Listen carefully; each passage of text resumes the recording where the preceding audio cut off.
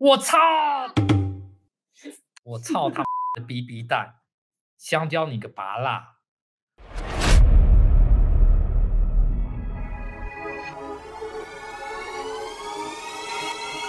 ！Good morning, ladies and gentlemen. My name is James Wang. 150, 40, 30, 20, 10.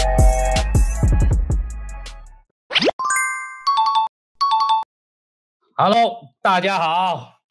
上次他妈讲到小日本，我跟你们讲，大佬实在是超衰，我跟你讲，衰到不能再衰了。哦，我其实哦，就训练完开始放飞，在日本放飞机长 Captain 之后呢，才大概第三天，我记得第二天还是第三天，我就当上公司的黑名单榜首。知道大佬干了什么事情吗？我跟你讲，我们公司哦，Skymark 的副驾驶哦，都是二零零八年的时候，日本航空 JAL 就破产倒闭嘛，他就 lay off 了一群副驾驶，他是从五十五岁以上的先砍人。那我们公司 Skymark 天马航空就把这些人招过来，然后签了合约哦，因为他们都老人家了嘛，所以他们签的合约就是你来我 Skymark 飞，你到退休前都不能升机长。所以这群人来哦，他就是我一个屁股坐在这边，我就是大屌而不甩，我也不管什么事情，反正我我也升不了机长，他做事也不负责任，就这样子坐在那边。所以我在世界各地哦，很多国家飞过，因为副驾驶都很喜欢飞嘛，都喜欢落地嘛。Skymark 在日本，我是唯一一个公司副驾驶不喜欢飞的哦，真的，我每次要给他飞，他说不要，呃，你飞，因为少飞就少出错嘛。你知道，在日本哦，日本人的民族心是非常重，所以他很排外。我们这种外籍机师哦，他他妈很瞧不起我们的。然后我报道的时候，通常因为我们是老外，我也我们认不得副驾驶是谁嘛，对不对？谁是谁是谁，我们认不得嘛。但是副驾驶一定知道你是谁嘛，因为他知道机长是外国人嘛，所以他认你一定很好认嘛。我飞了二十几年哦，我领悟到一个道理：报道的时候，副驾驶就很开心这样子，或者很友善打招呼，Hello Captain, I fly with you today，然后这样子呃打招呼，大家就很开心，你就会知道今天是个 easy day 哦，你就 partner 不错嘛。我很少很少嫌少，真的嫌少遇到报道的时候，副驾驶不跟我打招呼，我还要到处去找副驾驶。找到人之后，他也不说 How are you? Good morning，什么都没有的。我跟你讲，那一天就是刚放飞第三天报道的时候，柜台就只有我跟他两个人，还没有其他组组员哦，就我跟他。他看到我也这样大屌而不甩，也不跟我打招呼什么呢？那我还跟他讲，We fly to Fukuoka today, right？哦，他说对，我心里就已经有点不爽了。然后呢，我们飞机上的顶板哦，面板 overhead panel 全部都是飞机的系统嘛。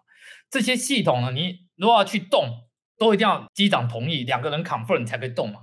尤其是油电器，你油的开关你绝不能乱动，你一油帮浦一关的，那发动机吃不到油不熄火。电也是一样，电不能乱关嘛，气也不能乱关嘛，一关不就施压了？所以油电器这东西千万不能动。然后我在滑行嘛，他突然手过来，啪啪啪，关了我的 fuel pump 啊，他要做程序的，但是这程序你理当要跟我讲，对不对？我们 confirm OK switch 啊，这样子，他不讲，乒乓就不动，我就超火，你知道吗？我就说你为什么做这事情不跟我讲？他说我为什么要跟你讲？大家都这么做。我说这个有东西叫做 SOP。好，他就不屌我，我就跟他哦大眼瞪小眼，一路瞪了两个多小时，然后他超级不爽，他一直在坚持我做这事情就是不用跟你讲，我能做我自己的事情。好，落地之后，我干了我这辈子，我到现在我飞了二十三年，我就赶过一次副驾驶下飞机，真的，我一落地我就说 get the fuck out my plane，滚，我就出去打电话给公司，我说副驾驶刚刚。动我的那个油帮浦在滑行的时候没经过我同意，这是很危险的，违反操作程序。我说我没办法跟他飞，拒飞，我就在福冈把他赶下飞机。那公司就在福冈抓了一个待命的副驾驶上来跟我飞。好，我跟你讲，就这件事情得罪公司，我四年多以来一直在 A 名单榜首。好，这件事情哦，大概两三天，啪，整个公司就传开了。所以我就要到公司一报道，老外都讲，哎呦。不错哦，Good job！你竟然敢把老小日本赶下飞机耶！所以我跟你讲，大佬也不是省油的灯，你不要惹我，不要骑到我头上。你骑到我头上，那就没什么好说的。我跟你讲，我大概飞了两三年后，有一次上班，又一个副驾驶又不打招呼，就我们两个在那边，你不跟我打招呼，一副他妈眼睛长在头顶上的样子，搞不清楚谁是机长谁是副驾驶，我就超不爽。但我就没有不爽什么东西，但是大家就各自做各自的事情嘛，对不对？我做我的事，你做你的，大家分支分工嘛，就道不同不相为谋，我们还继续继续飞行嘛。好，就飞巡航的途中，我们那一趟是飞喜多水新潜水，大概三个小时。巡航的时候，因为巡航没事做嘛，仪表就很脏嘛，我就拿卫生纸擦仪表。妈，你知道小日本翻脸，你知道吗？他坐在右边，给我翻脸，no no no no no，我就啊。我就吓到，妈什么东西啊？你跟我弄什么东西啊？You cannot use paper。我说我不能拿卫生纸擦显示表，你要我拿什么东西擦？好，他说这个要叫机务，叫机务人员有专门擦那个东西来擦。我就说，那我如果现在就这一幕就是很脏，我看不到了，我没办法落地了，我要不要擦？他说不能擦。我不呛出我的悲况哦，大家都服不了我。我说我七三七飞了八千小时，你飞七三七飞了多久？你跟我讲。我七三七是在波音原厂受训的，波音原厂的教官，原厂的教官就拿着卫生纸在那边擦。你告诉我，波音不能这样子擦？他说：“哦，那个公司有规定。”我说：“好，公司有规定，规定在哪里？你跟我讲，你翻出来嘛。”他就呃要要要要要要翻规定，嗯，找半天找不到，好不好？然后呢，他就有点恼羞成怒，他就说：“你刚刚起飞的时候也违反公司标准操作程序。”我说：“我起飞时违反什么标准操作程序？”哦，就是我们起飞的时候，那个油门哦，到起飞推力的时候，那副驾驶会喊 “take off thrust set”。哦，那标准操作程序是我们什么话都不用讲。那小日本就说：“我要讲 Roger，我没有讲 Roger。”我就说：“哪里哪里规定？你喊完之后我要讲 Roger。”我说。你只要翻得出来，我明天就辞职不干了。我跟你讲，大佬在小日本飞的时候，书读得非常好啊，非常会念书的。我就要念书才能保护自己，你们要永远要知知道这一点。知识书籍是保护飞行的最佳工具。然后他就翻一翻，翻一翻找不到嘛，我就当着他的面，我就跟他讲，只有两个副驾驶报道时不跟我打招呼，一个是某某某被我赶下飞机。我说你 What is who is the other guy？他说 no，我说 the other guy is you，然后我又跟他讲，we can do this easy way，or I can do this hard way。那副驾驶一听完，嘴巴跟那个裤子拉链拉起来一样，一句话都不敢吭，因为他没有权利嘛，就是公司的程序规定就这样子嘛。我跟你讲，我在日本真的是哦，哇，憋啊，真的是憋。我上次跟你讲哦，Skymark 的老板，你知道他他是搞电子产业的。他就对飞行完全不搞，我讲外行人来搞内行人东西哦，就是一句话，就是他妈乱搞。上次不是跟你讲过吗？我们 Skymark 飞行员哦，飞行员哦是不用穿制服，我每天都穿球鞋上飞机，穿破牛仔裤，就是因为他在机场看到飞行员那样很帅很帅，跟妹聊天，他隔天就说所有飞行员不准穿制服。然后呢，他在公司呢有很多小密码，那他只要知道飞行员下班之后跟哪一个。组员出去，他就把那飞行员开除。然后呢，我们前舱跟后舱都住不同饭店，就是老板羡慕嫉妒恨嘛。好，我跟你讲，我们飞行哦，经常会有搭飞机去哪里接班。一般来说，我飞过的所有航空公司，只要组员 position 你去接班的哦，大部分都是你先上飞机，因为你组员通常有行李嘛，你就把先先上飞机，把行李全部放好，你就坐在那边，没人知道嘛。那穿着制服也不好，或者客人都上完，你才那边拿着大包小包，那在那边也不对。有一次呢，我叫 positioning，我就组员嘛，搭飞机到神户去上班嘛，然后呢就带大包小包嘛。我跟你讲，这人呐，狼哪衰哦，进不化那谁太鬼，我就要接班，那搭飞机到神户，然后呢，譬如说下午两点钟登机嘛，我就一点四十差不多，哎，柜台有人了，但还没开始喊登机，我就要去拿行李，就要先去登机门要登机嘛。突然有一个老头叫住我，过来，过来，过来！我看啊，这老头，这老头有点面熟面熟，我就问副驾驶：“哎，谁呀？谁呀？”他说：“老板。”我靠，老板在旁边叫住我，我就有不祥的预感。他说：“过来，你干嘛的？”我说：“我是七三七的 captain，我要到神户去接班。”他说：“那你干嘛现在上飞机？”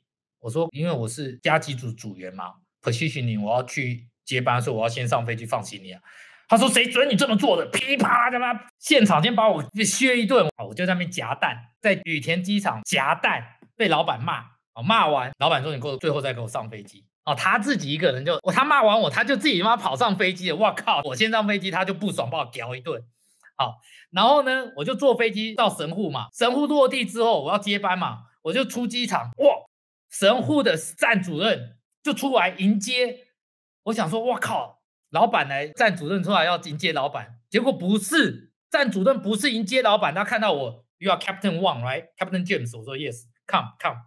神户站的站主任把我叫去，然后说，因为老板刚刚一上飞就打电话给站主任，等一下王机长会过来，你把他叫去，叫他写悔过书。我就这么衰，妈，老板叫我写悔过书，我说写什么悔过书？他说你要给我悔过啊，不准比客人先上飞机。我就为了我那一天啊，你知道，我就必须要为五斗米折腰的，好不好？没关系，君子报仇，三年不晚。你知道，我就已经衰到这种程度，你们这这很衰嘛？然后呢，这件事情就传开了，你知道吗？然后就那几天，我就要碰到，不管连就算我遇到小日本，日本人都跟我讲说，哎，我们公司搭飞机不能先上飞机哦。我说对啊，那我呢就衰，因为我比老板先上飞机，他就不爽，他就说就不准。所有人看到我都是觉得我很衰。好，我告诉你还有多衰的事情。我被叫去写悔过书，不到一个礼拜，在第五天的时候，我们公司呢就有一个机长，日本人，他就拿行李要放行李箱放上去，然后呢，因为飞机客满，上面空间很窄，他挤挤挤挤挤，然后没挤好，行李掉下来，然后扎在客人头上，乖，客人客诉，老板隔天马上发一个通告，所有组员不准。最后上飞机一定要在波顶之前上飞机，绝对不准客人登机之后才上飞机。谁敢迟到试试看？因为怕最后上飞机请你放好会掉下来，弄到客人，然后影响观瞻。我操！我操他妈的逼逼蛋！香蕉你个拔蜡！五天前你他妈把我骂的跟狗一样，说我不不准先上飞机，还写个悔过书。五天之后你他妈发一个通告。告诉全公司人他妈不准最后上飞机，谁迟到谁妈受罚。我他妈悔过书白写的。好，我告诉你，小日本你给我来这一套，我也他妈不是省油的灯，对不对？你不要骑到我头上，我就不爽。我就我也写一个报告，我说第一个我在几月几号发生这个事情，公司 SOP 没有规定组员要最后上飞机，你怎么能处分我？第二个，你现在还发一个通告，所有人都要在客人之前就要上飞机，那我是发了公司的政策啊，对不对？我跟你讲，我 file 这个 report，公司就直接不回我，我还注明哦，要回复我，公司就是不回。我看小日本就这样，对他有利就是有利，对他没利他就不干。好，我跟你讲，那日本人真的是，因为他们民族性很团结，对我们老外，他有时候都不是挺好。知道我在 Skymark 的时候，我们在飞机上哦。我如果要喝一杯咖啡，是要付一百元才能拿一杯咖啡的哦。我不付钱是喝不了咖啡的哦。所以我在日本飞国内线都是一落地地停的，对，我就先出去，因为日本机场都很干净、很漂亮，到处都是贩卖机嘛，我都去投两罐一百元的咖啡，投两罐上飞机喝。我进了驾驶舱，拿了自己买的咖啡，我跟座舱长说：“哎，给我一杯冰块。”他就直接回我没有冰块。我就说我们要载客人。你飞机上怎么可能有没冰块？他说：“对我们飞机上就是没冰块。”我看我他妈不爽，你知道，我就超不爽。你可以态度对我不好，但你不能说谎。我就直接椅子一拉，走出去门后面，我就看有没有冰块。在厨房我就看到有冰块。我说明明有冰块，你跟我讲没冰块，你这就是骗人啊！结果呢，座舱长就说：“你要冰块可以一百页。”我说：“靠，为什么冰块要一百页？公司有要卖冰块吗？我就没有听说冰块要卖钱。”他说：“因为咖啡一杯一百，要买咖啡才有付冰块，所以 Captain 你要冰块的话，一百元我会送你一杯咖啡。”靠！我听完崩溃，我说没办法，我说好，冰块我不要，但我要写你报告，写你报告与冰块无关，是因为你说谎，你怎么能说谎骗机长？对不对？然后我就我超气，我这个人就是这样子，我见不得歪勾起床的事情，这妈不正不义的事，我看不过去，我落地就要写报告。我写报告的，然后人家就看到我要写报，就呃，，Captain 不要不要，千万不要写 Skymark 天马航空从来没有机长写过空服员报告。我就说，我们当个飞行员，我跟你讲，在日本当飞行员，我我真的很憋，我不骗你们。副驾驶可以他妈写我报告，空服员写我报，我被空服员报写过多少报告？地勤可以写我报告，机务也可以写我报告，我妈到处乱写报告，我我他妈接的不知道多少报告。你知道我们譬如说早上七点要起飞的飞机，舱门没有关哦，就要写报告嘛。那你知道吗？因为空服员准备时间晚了嘛，但是舱门没关会被写报告，他就写报告说 Captain 晚到。靠，我一这样子也被人家阴过，然后呢，要后推时间没算准，我也被小日本写报告，关我屁事啊！机场繁忙又不是我不后推的，对不对？我也被阴过，全世界都可以学我报告，就我机长不能写空服员报告啊！我说没这回事，我要写。结果老外他妈打电话给我，哎哎，James James 不要写，我跟你讲，你一写哦，以后我们所有人都没有冰块可以吃了啦，因为我叫我一写，下一个公告公司一定百分之一百就会发。以后飞行员不准拿飞机上冰块，好吧？我为了顾及大权，好不好？为了顾及所有我们外籍机师吃冰块的权利，我就忍了，我就忍了，我吞下来，好不好？然后呢，我跟你讲，我们公司就小日本真的很爱，一有事情就发通告。有一次我休假回来回日本飞，我要在驾舱里面，我就要喝咖啡嘛。那突然。座舱长就说：“驾舱现在不准喝饮料。”我说：“靠哇！现在他妈连饮料都不能喝了。之前一百宴你还一个杯子一杯咖啡，现在驾舱班不能喝饮料。”我说：“不能喝饮料，那喝什么？哦八桶有盖子的饮料才可以喝。”我我就知道这一定不对劲，我就问副驾驶：“干发生什么事情了？”有个机长在驾舱喝咖啡，结果乱流，叭把咖啡打翻在他妈仪表板上面。公司隔天发通告，不准喝星巴克。然后呢，你知道我们公司就很多老外哦，那尤其是美国人哦，真的忍受不住小日本老外。有一个老美哦，他就不干了，他不干，他最大，他不干之前哦，就故意就买一个星巴克，老外就妈拿咖啡进驾舱，座舱长就说 no no no captain no，机长说 fuck you，就比中指。然后座舱长就进来说不准啊，他说滚滚，你写我报告，啪门关起来。然后那个机长呢就在驾舱跟一个星巴克杯子比了一个中指。然后我跟你讲，我们所有我们所有老外都恨公司恨到不行。我我们 SkyMark 架舱哦，有个垃圾桶，那个垃圾桶比你的头还大。我飞了七个国家，我从来没有看过驾驶舱可以放垃圾桶的。驾舱怎么放垃圾桶啊？你一个乱流，它垃圾桶啪，那干嘛就灌在你头上变成安全帽嘞？驾驶舱怎么会有垃圾桶这种东西呢？然后呢，我们的老外。就看这个垃圾桶，看的超不，他就呢驾座舱长进来，他就把垃圾桶拿出去。我驾驶舱你不要有垃圾桶，把门关起来。你知道，座舱长就把门打开，把这垃圾桶放进来。然后呢，这老外机长又把门打开，垃圾桶丢出去。座舱长又打开，又把垃圾桶放进来。我老小日本他妈很狠的，座舱长哎，哦，两个僵持不下。那老外机长说好，没关系，关门嘛，好，没关系，垃圾桶在我驾舱里面，飞机后推。Push back 后推之后，他就把气压机窗户打开，就像垃圾桶这么大一个，从窗户旁边把垃圾桶丢出去，直接丢在机坪，丢往机务的头上丢，门关起来，走飞回那个羽田机场下班，行李一拉，不干啊！在日本这地方能够撑得住老外都是都不简单的，好不好？好，我们公司哦开除过一个老外机长，你知道日本有规定，就是。刚放飞的机长，就算你你已经放飞了哈，但不管你放飞多久，你一定要做另外做一个考核。这个考核就是可以给副驾驶飞的考核，要进模拟机做这个考核。这模拟机训练就是训练什么呢？就是训练他就假装落地乱落，那你你机长要能够马上接手嘛？那起飞他就故意拉感拉很大，感觉要扎尾桥，你要可以接手哦，或者速度还没到。就拉杆，这他要训练你各种状况，就副驾驶乱搞的状况，你可以临时都可以接得了手哦。要训练这个，那你训练完你才能给副驾驶飞。我是我们飞机晚上夜航哦，在羽田机场要进场落地前下大雨，机长那一侧雨刷坏掉，没有雨刷，所以机场就没办法落地嘛，就看不到啊，就看不到啊。那副驾驶很资深哦，副驾驶也七八千小时飞了十年，他就安全起见。给副驾驶落，副驾驶也落地，飞机什么事情都没有，因为我们飞机都可以记录，都查得到，小日本都会去查，说这趟谁飞的怎样怎样。落地机长有写机务 report 嘛，就是说个雨刷坏掉要修嘛，这公司就知道说雨刷坏掉，那谁落地？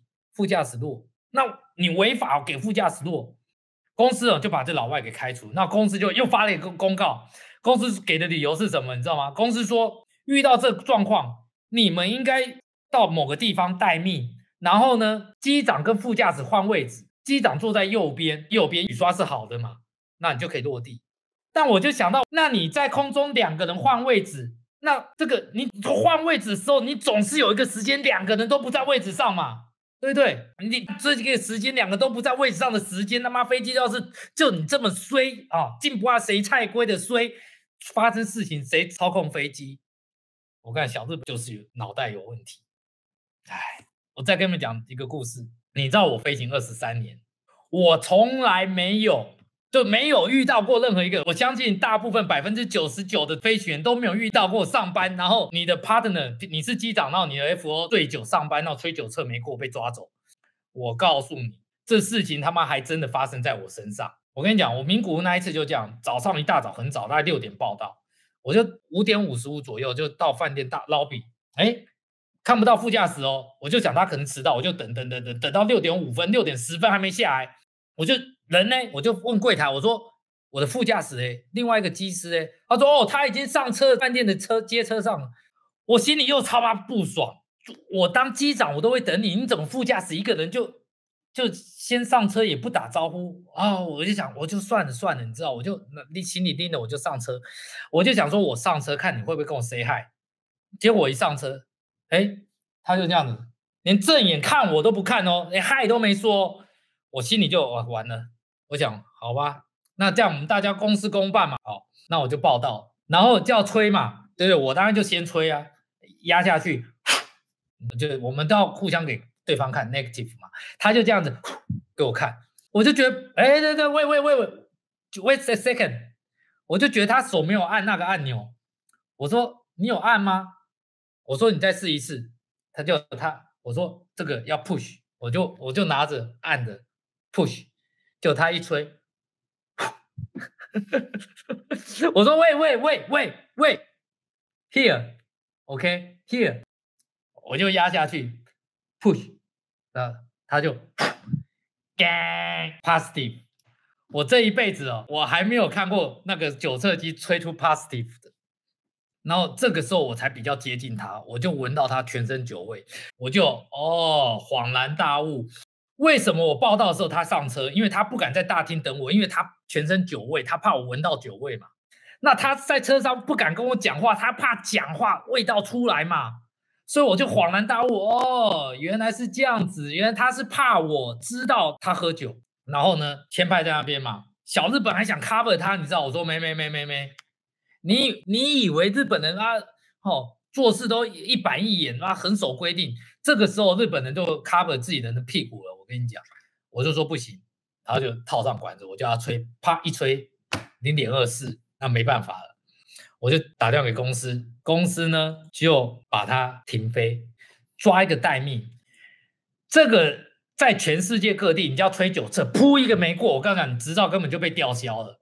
你知道这个副驾驶，他当下酒测没过，喝酒跟我道歉都没道歉。公司连民航局都没报，他只被停飞三天，又继续飞了。好，三天后继续飞，传一封简讯给我。我跟你讲，我的简讯留到现在啊。我是 BC 七六一 First Officer 滨田静太，今天因为本人的措施，造成你临时必须执行七六一航班，实在非常抱歉。如果你明天也会与王机长同航班执勤的话，麻烦请您代为向王机长说声抱歉，感谢你的帮忙。等一下哦，根据他这封信的内容，这个小日本还不是跟我道歉呢，这封简讯还是给那个副驾驶。我我很抱歉，妈害你被抓了，嗯，对对？我靠，小日本真，我告诉你，我最后是怎么离开 SkyMark 的。我跟你讲，我我先告诉你这这个时期的悲况，那个时期哦。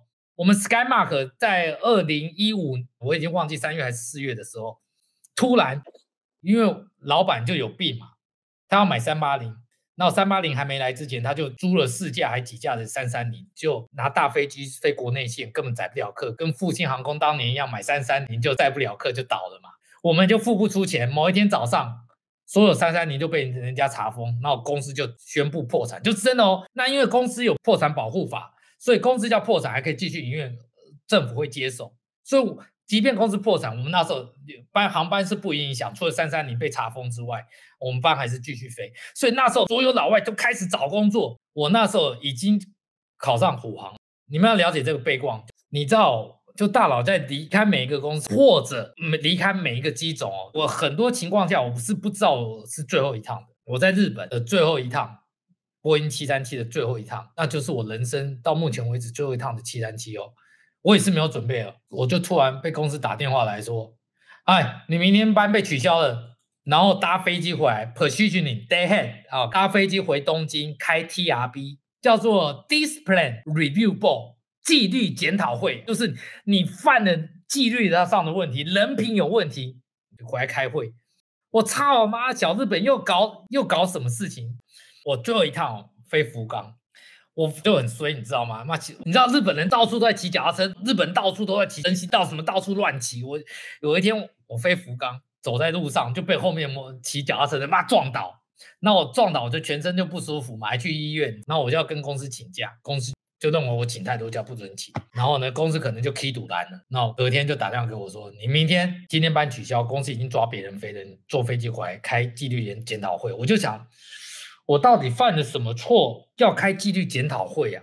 好，莫名其妙搭飞机回东京，然后搭电车到我们总公司找飞行处的副总开会。你知道小日本他妈整我，他拿出我飞行 data，他说你昨天福冈落地的时候，一万尺的时候飞两百五十一海里，我超速一海里要停飞，我法规规定一万尺像两百五十海里。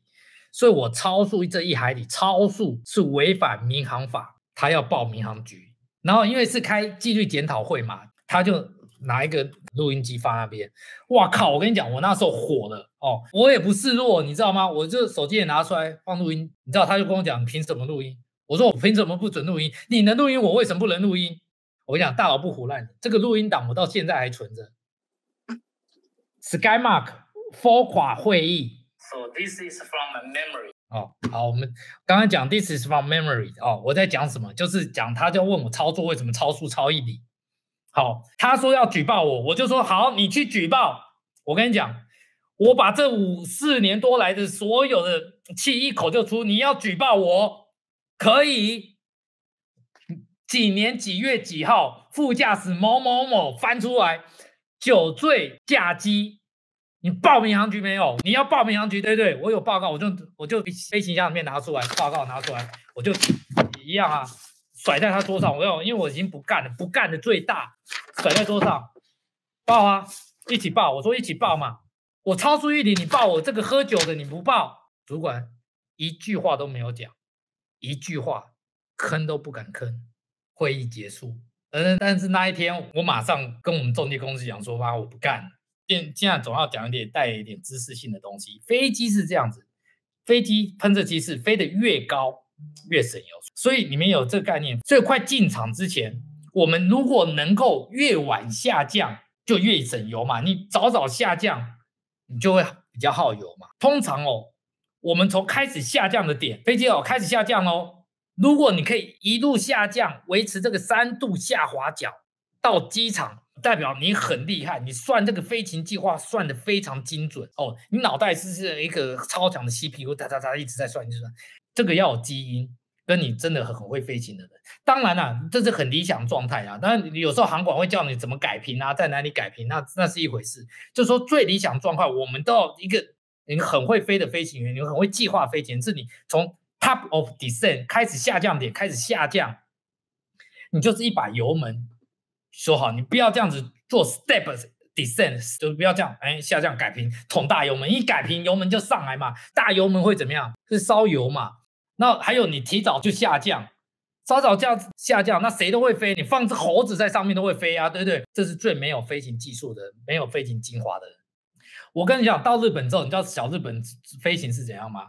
还没到飞机计算的下降点，早早的五分钟前它就开始下降，我就想说。我每次跟副驾驶喂喂喂喂喂，你太早下降，这么早下降干嘛？烧公司油？小日本的理由就是说哦，早下降安全一点。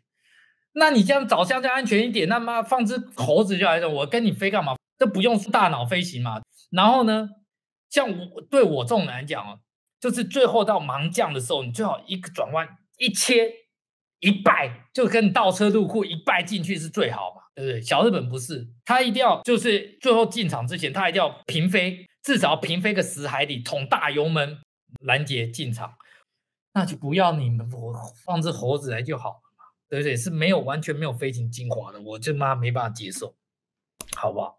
好，谢谢大家，晚安，大家晚安，拜拜。